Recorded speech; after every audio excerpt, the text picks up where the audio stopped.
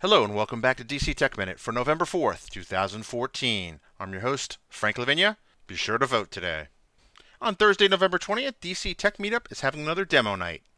Fest 2014 promises to be a bit of Oktoberfest in November, with Lederhosen, beer, pretzels, and logistics software. Not a combination you see every day. DevOps DC has a meetup on Tuesday, November 18th, with Mike McGarr, former DC area resident, but now build tools manager at Netflix.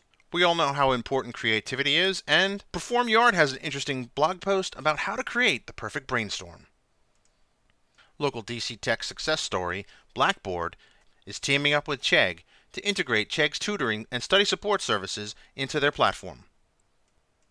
And congratulations to Shana Glenzer for making the list of 20 people making DC.